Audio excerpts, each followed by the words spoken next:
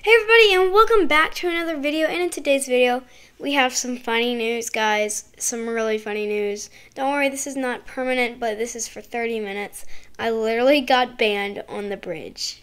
Y'all want to know why? Because of build height.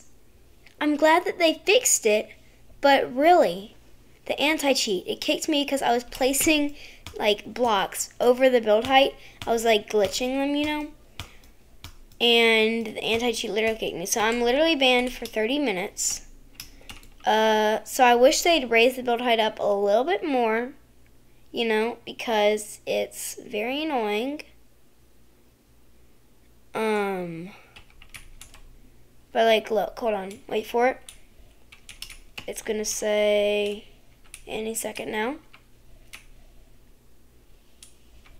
Yep, you have been banned from the bridge. Anti-cheat, unfair advantage. So the unfair advantage was, once again, me placing blocks over the build height. So, that's sad, guys. Um, funny news, though. That's funny news.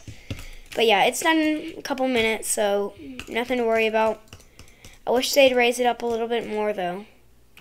For real. While I wait, I'll just ride the train because I can't do anything else. So, yeah. But thanks for watching.